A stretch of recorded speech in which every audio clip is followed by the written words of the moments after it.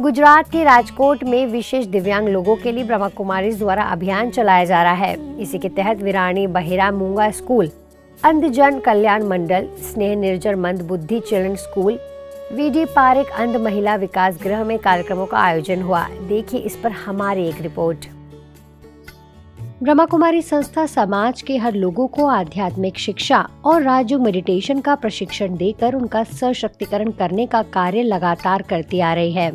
परंतु दिव्यांग वर्ग को यह शिक्षा देना एक चुनौती थी। लेकिन ब्रह्मा कुमारी ने इस चुनौती को स्वीकार करते हुए दिव्यांगों के लिए विशेष तैयारी की है।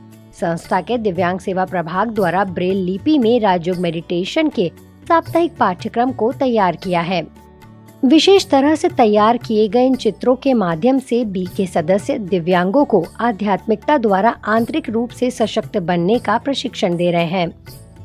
इन चित्रों द्वारा राज्यों का प्रशिक्षण लेने में यह दिव्यांग न केवल रुचि ले रहे हैं बल्कि एक सामान्य व्यक्ति की भांति पूरी तरह से समझ भी रहे हैं पंचशील सोसाइटी सेवा केंद्र की राजयोग शिक्षिका बी के किंजल दीदी के मार्गदर्शन में ये कार्यक्रम आयोजित किए गए जिनमें दिव्यांगों के मनोरंजन के लिए कई गेम्स आयोजित रहे આત્મ શાંતિ પ્રાપ્ત કરવા માટે પરમાત્માના સ્મરણ ચિંતનનો જે રસ્તો आत्मा शांति प्राप्त करना